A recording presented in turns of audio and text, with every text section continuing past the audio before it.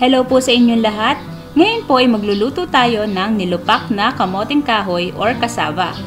So, umpisahan na po natin ang pagluluto.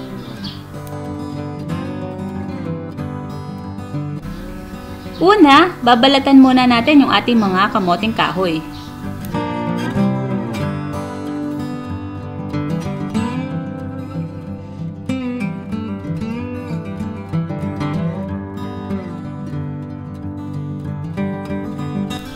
Saka natin hihiwain at tatanggalin yung parang ugat doon sa middle part.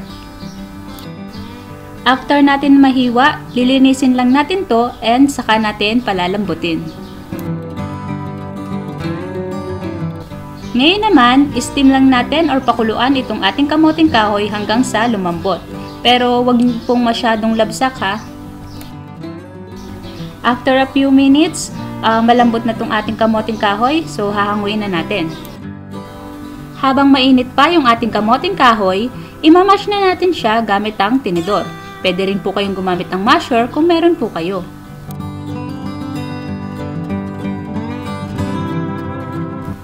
Ngayon naman, pagsasama-samahin na natin yung ating dinurog na kamoting kahoy, yung ating margarine, pwede rin po kayong gumamit ng butter, asukal,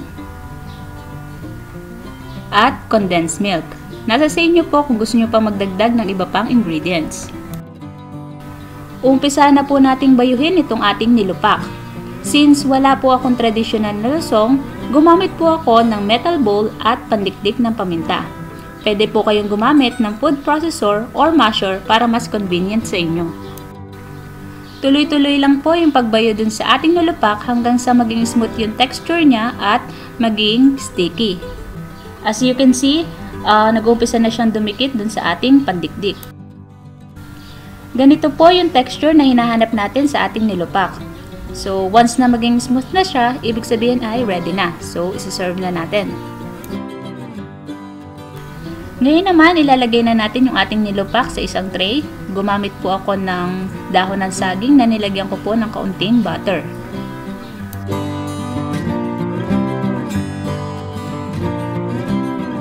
At para naman po magkaroon ng additional texture yung ating nilupak, gumamit po ako ng tinidor at nilinyahan ko po yung nilupak.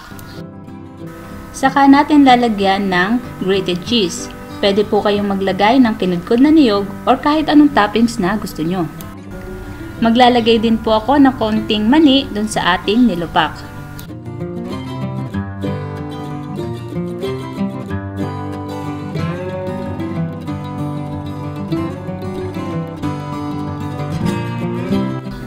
At eto na po ang ating nilupak na kamoting kahoy. Tikman na natin.